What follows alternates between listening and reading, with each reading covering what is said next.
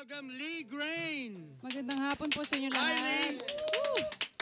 Salamat po sa pag-imbita niyo sa akin ngayong magandang hapon Thank ng you for Saturday. coming. Oo. Richard Merckx, idol. Oy, thank you, thank you. Hindi ka ba binagyo? Binagyo po, Binagyo? pero it's ay, hindi nakatigil ang bagyo para sa musik. Binabaha pa yung lugar niyo, binabaha? hindi naman po. Ah, hindi, okay. Oh. Nakanta ka nun sa ano, no? Sa Seventh High. Seventh High, Oo, oo, oo. Apex Lounge. galing siya sa Batangas. Oo. She's from Batangas, actually. Where in Batangas? City po, Batangas City. Wow, city mismo. City mismo. Ayaw ng parents mo, ganun ba? Oo. At that point, ah, college, syempre, yung gusto ng mga parents, makatapos ka muna. Pero siguro, yung drive ko talaga na i-pursue yung music career ko was more than the drive to go to school. Kasi parang naisip ko before na kahit naman siguro fourth years old, pwede kong tapusin yung school. Pero kung fourth years old ako, tapos saka ako mag-music, baka... Nga, baka late na. Baka masyadong late. Hindi mo pa, hindi mo pa pagsabay, ah. Hindi mo na mahintay. Oh, gusto mo na ituloy-tuloy talaga. Oh. yes. How was your experience sa ano, sa voice? Anong, Napaka madami po akong natutunan dahil sa experience ko sa The Voice of the Philippines. Ah, madami din ako natutunan tungkol sa sarili ko bilang artist, bilang ah, musician, bilang ah, singer.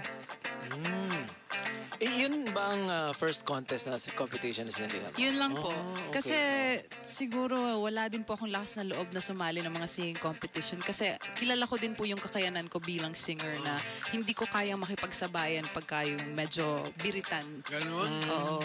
Medyo yung genre ko po mostly is uh, soulful, more folk, more on folk music. Actually, wala naman sa bilitan ng pagiging champion. Nasa pagdadala talaga ng ano yan, ng kanta. Oh, mabuti, doon na iba yung ano eh, The Voice, di ba? Oh. Sumama ka pa sa Elements? Hindi pa po. Ah, hindi pa? Hindi pa po. Balak mo? Balak ko po sumali. Oo, kasi kaibigang Junsi, ang uh, chairman nun. Oo, sumali ka doon. Kasi oo. po si Mr. Joey Ayala naging uh, co-mentor ni Coach Bamboo. So, nabanggit din po niya yung elements. So, Ah, siguro in okay. the future. Sana, Yeah, oo, oo. oo. Mag- sana maganda yun. mabigyan ko yung Ah, elements. Are you single or are you double?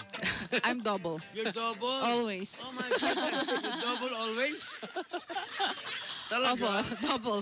Musikero din ba? Hindi po. Hindi naman. Ah, hindi musikero. Yes. Sundalo. Kumusta po kayong lahat dyan? Yan, yun Skill. yun. Kasama po natin si Lee Grain ng uh, Team Bamboo. Wow, it's an honor to have you here. It's an honor to be guest in Yeah. the show. Salamat po ulit sa pag-imbita niyo sa akin. Yeah. An- anong forte mo, uh, Lee? Mga... Ah, Blues? mga... Hindi po eh. Hindi naman. Folk talaga. Ano una-una mong, ah, ah, sino-sino yung mga una mong napakinggan na, na, na influence? Ah, nung simula pa... Nung umpisa, oh, Ah, can you recall? Oh. Apo Hiking Society, um, yung mga ganun, mga unang... ah, 70s, oh. 70s. Para Joey Albert. si Joey Albert. Oh. Yes. Si Lilita Carbon, kilala mo? Opo. Oh, yun. Di ba? Na-meet ko po siya the last time kasi nag-perform siya sa Grand Di ba ang Finals. galing? Ang galing niya. Di ba?